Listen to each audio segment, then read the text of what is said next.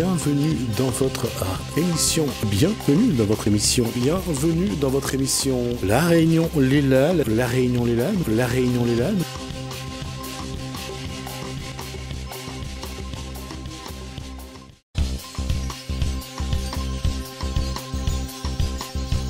Voici, on va parler de quelque chose de plutôt important, et puisqu'on va parler de santé, on va parler du syndrome Gilles de Tourette. On va, vous allez voir un petit peu ce que c'est. On en parle dans Cosement Réunionnais.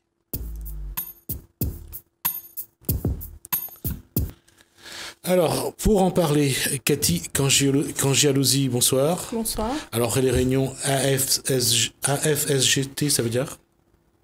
Alors, euh, de l'Association française, du syndrome, de Gilles de, la Tourette. De la Tourette ou de Tourette? J'arrive De la Tourette. De la Tourette?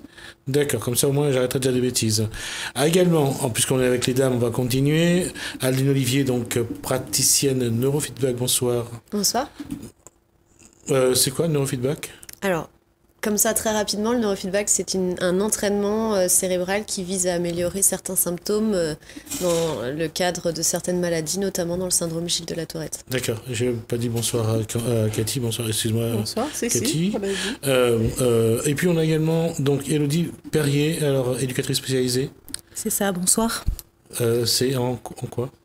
Donc, je suis éducatrice spécialisée sur le centre expert du syndrome de Gilles de la Tourette. D'accord. Bonsoir, docteur Michel Spodenkiewicz, c'est ça, j'ai bien Oui, c'est bien ça. C'est vraiment un hasard, hein, Pédopsychiatre. Exactement. Centre expert syndrome Gilles de la Tourette au CHU Sud-Réunion. Pédopsychiatre et du coup chef de service du centre expert du syndrome de Gilles de la Tourette et je travaille aussi au centre de ressources interrégionales pour l'autisme. Alors, est-ce qu'on peut définir c'est quoi le le syndrome Gilles de la Tourette Bien sûr, je vous remercie beaucoup pour cette question parce que c'est vrai que beaucoup de gens ignorent ce que c'est que cette maladie, qui a un nom effectivement pas évident à prononcer. En fait, il s'agit de la persistance de tics moteurs et plusieurs tics vocaux pendant une période supérieure à un an, et ce, avec un début avant 18 ans. Les tics sont des mouvements involontaires que surviennent sans que les personnes arrivent à les contrôler. Alors, là, ça vient de... C'est neurologique? Alors, il y a une base qu'on pense, une susceptibilité génétique, mais il y a plusieurs facteurs et aussi des facteurs environnementaux qui jouent dans le développement de cette maladie. Là, euh, j'allais dire que les conséquences sont toujours euh, sur la la motricité, sur le langage Eh bien, ça s'exprime par euh, effectivement des signes au niveau de la motricité et du langage, mais les problèmes, eux, ils concernent vraiment le quotidien, euh, la plupart du temps, des enfants et des adolescents qui sont les plus atteints, mmh. et euh, vraiment le, le rejet, l'incompréhension qu'ils peuvent, dont ils peuvent être victimes du fait des mouvements involontaires qui sont parfois interprétés, mal interprétés, et qui font parfois l'objet de, de moqueries. Donc, le caractère involontaire. C'est pour ça que j'insistais euh, sur le caractère involontaire d'éthique qui est très important à connaître. Je vais essayer d'être précis là-dessus. C'est-à-dire ça, ça euh, souvent, les troubles viennent euh, sur le, j'allais dire, tout ce qui est cognitif. Alors, il y a une association, une fréquence plus importante de difficultés cognitives chez les enfants. Tout ce qu'on appelle des, outils d'apprentissage. Ça, très clairement, ça a des, des, conséquences sur les apprentissages, mais j'insiste beaucoup aussi de manière indirecte par parfois l'exclusion, les moqueries, l'incompréhension par la gêne entraînée, entraînée par l'éthique eux-mêmes, bien sûr, hein, parce que un enfant qui passe son temps à essayer de se contrôler pour ne pas faire certains gestes, on imagine qu'il est moins disponible pour l'école et pour les apprentissages, mais aussi parce qu'il doit faire face un tout petit peu euh, au regard euh, parfois euh, pas toujours très bienveillant et parfois une incompréhension de l'entourage, et c'est ce point-là qui me semble vraiment essentiel. Il y a une chose aussi qui est vraie, c'est lorsque vous êtes face à quelqu'un qui a un tic, forcément vous allez être attiré, votre regard va être attiré par cette personne, vous allez essayer de comprendre et ça va vous gêner. Le fait que lui a un tic, ça va vous gêner. Et ça, c'est quelque chose qu'on a du mal à gérer quand on est en face de quelqu'un qui a un tic. Ah, c'est une réaction tout à fait naturelle, mais quand on sait que ce tic est involontaire et quand on comprend que finalement la personne, elle ne choisit pas, c'est comme euh, euh, finalement euh, certains aspects physiques, bah, la nature en a décidé ainsi, et du coup, on va essayer de passer outre et ne pas oublier qu'il y a une personne derrière qui a sa personnalité son histoire, et vraiment ce côté de réduire parfois les enfants juste à leurs symptômes, c'est quelque quelque chose qui pose problème. C'est pour ça qu'on essaye de dire, OK, ils ont une maladie d'éthique, ils ont un syndrome de Gilles de la Tourette, mais ils ne sont pas un petit tourette, ils sont un enfant comme tout un autre, ils peuvent avoir leur personnalité, leur centre d'intérêt. Euh, Comment vous, vous, vous essayez d'améliorer la vie de, de, ces, de ces enfants porteurs de, cette, de ce syndrome? Ah, Si je veux bien commencer, moi, en tant que maman, euh, puisque euh, je suis maman d'une fille qui est atteinte du syndrome. Depuis trois ans, elle a été diagnostiquée. Euh, comment faire face ben, dès le départ en étant accompagnée par des professionnels? Donc ça a été tout de suite rassurant pour nous, rassurant pour elle de savoir que ben, c'est une maladie, c'est pas fait exprès, malgré certains jugements hein, qu'elle a pu euh, qui lui ont porté préjudice. Juste, mais... juste une parenthèse, hein. je veux dire qu'on soit, qu'on ait des problèmes de, euh, handicap ou on n'en a pas, je pense que le regard humain aujourd'hui euh, est, pareil pour tout le monde. Hein. On, est, on, est sous les fourches codines de, de l'être humain à chaque fois qu'il regarde, que, que l'être humain regarde. Donc après, disons que ça fait plus mal peut-être à la personne qui, qui est porteur d'un handicap de ce regard-là est sans plus, plus, moins, moins bienveillant. dans ce cas-là, comme c'est généré par des tics vocaux ou euh, moteur. Donc euh, le fait d'être en stress hein, par rapport à un regard euh, malveillant ben, va augmenter, amplifier l'éthique et augmenter d'autres troubles annexes qu'on aura peut-être l'occasion d'en parler. Et donc la personne atteinte de cette maladie vit très mal. Mm. Donc se faire aider par des professionnels du monde de la santé et on va voir aussi avec Adeline Olivier par d'autres méthodes aussi alternatives euh, en tant que parent, voilà, on essaie de se donner tous les moyens pour aider l'enfant ou la personne euh, malade. Euh, ça, c'est, si la, la question vous, vous dérange, ne répondez pas, mais je qu'est-ce que votre enfant aujourd'hui montre comme signe? Alors elle a toujours, elle a 10 ans aujourd'hui, donc depuis le, la pose du diagnostic. Elle a toujours des tics vocaux. D'accord. Euh, ça peut être euh, des grossièretés, donc on parle de coprolalie dans ces cas-là. Hein, des mots qu'on n'aime pas entendre, hein, mais bon, c'est. Voilà, elle en a toujours. Euh, des tics moteurs, donc des haussements d'épaule de temps en temps. des secousses de la tête un peu moins, mais bon, c'est selon, voilà, c'est variable. C'est pas toujours linéaire, donc c'est en dents de scie. Et avec d'autres troubles du comportement, troubles de l'attention aussi. Donc, euh, vous voyez, il y a des troubles annexes aussi qui viennent se greffer à, au tic. La question est pour vous trois, dans ce cas précis, qu'est-ce que la médecine propose pour euh, accompagner, pour soulager la, la personne? Eh ben, il y a différents niveaux d'intervention. Il y a. C'est pour ça que je dis dans ce cas-là. Très bien, très bien. Alors, je vais essayer de, de, rester assez générique pour faire comprendre qu'il y a d'une part l'information, qui à mon avis est vraiment primordiale. Information des parents qui parfois euh, entendent des choses inappropriées quand, et une remise en cause de l'éducation, leur façon de faire, alors que encore une fois, ça n'a rien à voir avec l'éducation. Il y a à côté de ça des prises en charge psychothérapeutiques, et ça je pense que Elodie pourra en parler un peu mieux que moi, des thérapies, notamment les thérapies cognitivo-comportementales, qui sont euh, recommandées au niveau national, dans les recommandations nationales. Il y a aussi des traitements médicamenteux dans les formes sévères qui peuvent être utiles.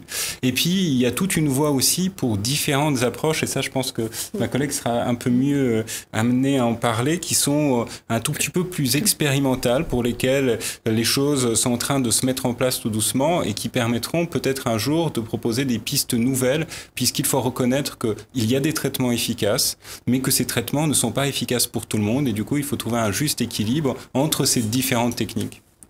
Alors, je, qui commence sur la méthode? Pour laisser dans le médical terminé, je vais, je vais, enfin, je laisse Elodie prendre la parole et puis je ferai la part après aux techniques euh, alternatives. Mais juste avant de venir là-dessus, j'aimerais ajouter un complément d'information, à savoir que dans le syndrome de Gilles de la Tourelle, il y a quand même euh, cette idée commune que ce sont euh, forcément des grossièretés. Or, ce n'est pas le cas. C'est une minorité d'enfants qui vont dire des gros mots, mais que le syndrome de Gilles de la Tourelle, c'est beaucoup plus que ça. Et notamment, euh, on trouve beaucoup, alors dans 80% des cas, des troubles associés avec des troubles anxieux, des crises de rage, des troubles du comportement et aussi de l'hyperactivité. Mais voilà, c'est pas forcément des gros mots. C'est souvent ce à quoi on pense parce que c'est un côté un peu péjoratif. Comme c'est ce qu'elle vit. Donc, voilà, dans le cas de ma fille, c'était. voilà. Mais c'est vrai, comme le dit, le dit Perrier, ça représente 20% hein, généralement des, des cas, donc très peu. Très peu de personnes. Quels sont les protocoles que vous proposez dans, dans, dans le cadre de vos interventions, vos prestations, sur, dans, dans les cas que vous rencontrez? Alors, ce qu'on propose et qui est assez efficace, c'est euh, ce qu'on appelle des thérapies cognitivo-comportementales, où il s'agit, alors, avec des mots simples en fait, que l'enfant s'habitue à ces tics. En fait, on s'est aperçu que juste avant les tics, il y avait un peu des sensations prémonitoires, comme des chatouillements dans la gorge ou euh, euh, de la chaleur dans le corps, des choses comme ça. Et donc, c'est que l'enfant puisse contrôler ses sensations prémonitoires et réussir à ne pas faire son tic. Euh, donc, il va être chronométré. Et euh, petit à petit, c'est une rééducation. Finalement. Donc, c'est des séances qui sont sur trois mois, donc 12 séances. Et la 12, séances, en 12 séances, l'enfant, quel que soit son âge, arrive à à intégrer un nouveau, euh, dire un nouveau schéma de comportement? c'est plus une, euh, c'est au niveau sensoriel, c'est s'habituer, euh, s'habituer à cette éthique. Alors ça diminue C'est une forme d'acceptation.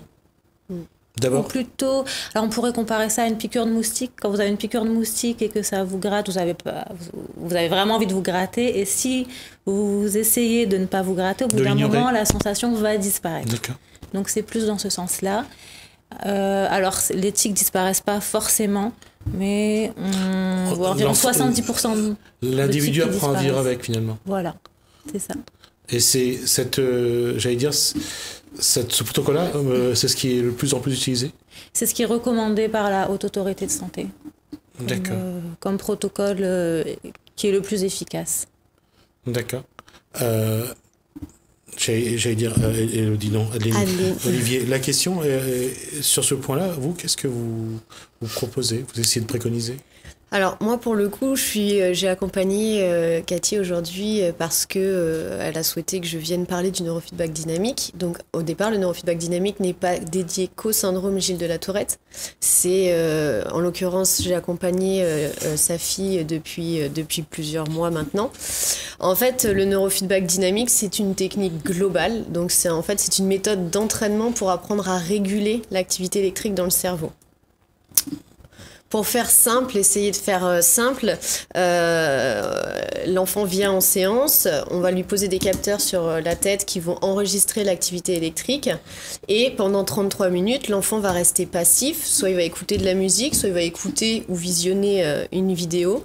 Et pendant ces 33 minutes, l'activité électrique va être enregistrée. Et chaque fois que le logiciel va détecter une turbulence dans l'activité électrique du cerveau de l'enfant, c'est-à-dire un pic d'intensité à la hausse ou à la baisse, on va informer, le logiciel va informer le cerveau de son dysfonctionnement par le, le, feedback justement qui est une micro-coupure dans le son. Donc on apprend au fil des séances à rééduquer le cerveau pour maîtriser son activité électrique puisqu'on sait aujourd'hui qu'il y a un lien entre turbulence dans l'intensité électrique et manifestation de certains symptômes.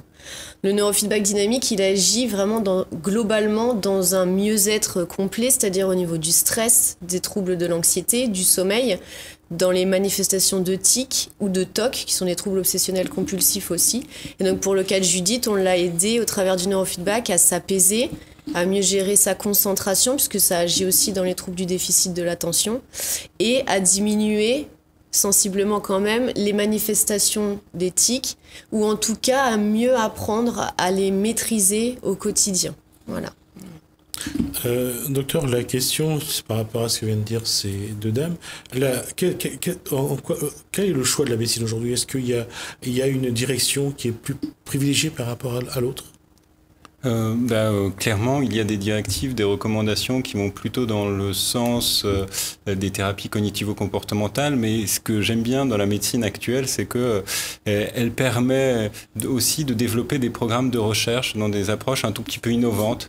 Et à l'heure actuelle, on espère pouvoir développer des programmes qui peut-être s'intéresseront à des approches qui jusque-là ne sont pas connues et qui peut-être seront euh, les prises en charge de référence de demain. Il faut savoir que le savoir en médecine, il évolue et quand on regarde la manière dont on prenait les, en charge ces patients il y a 50 ans ou il y a 100 ans, au moment où euh, M. Gilles de la Tourette avait décrit, les prises en charge n'avaient absolument rien à voir avec ce qui se fait aujourd'hui.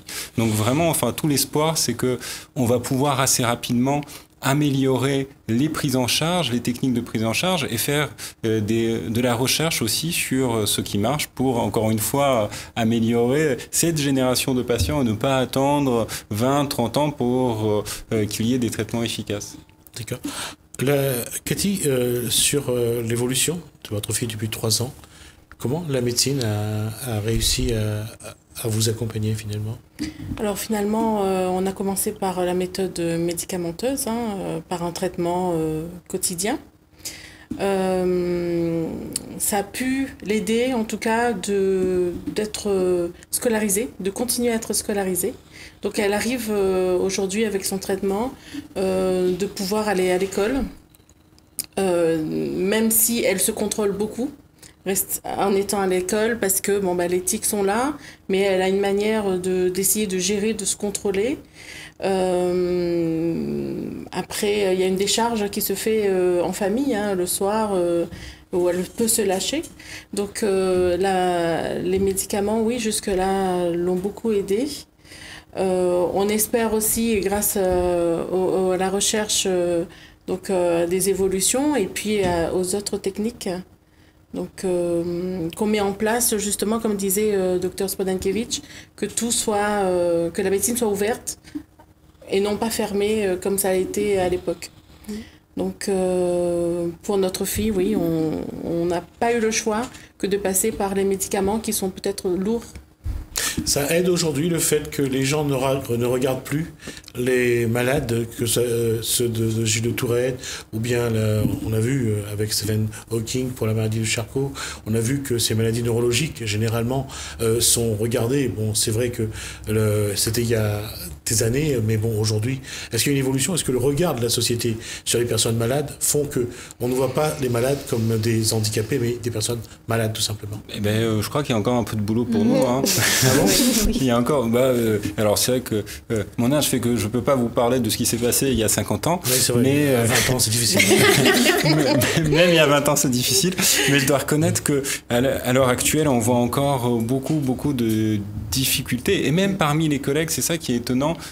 qui ne connaissent pas cette maladie, ne connaissent pas ses troubles, ne connaissent pas ce que son évolution.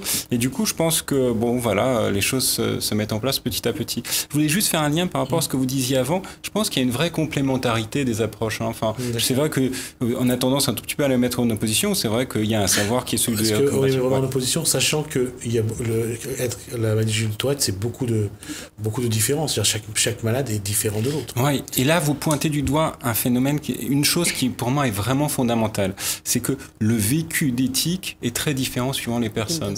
À niveau de tic égal, il y a des personnes qui disent moi, je m'en fiche. Hein. J'ai des tics. Ça ne m'empêche pas d'avoir de très hautes fonctions au niveau de l'État. Mm. Il y a d'autres personnes, en revanche, qui ont des petits tics et qui n'arrivent pas à sortir de chez elles.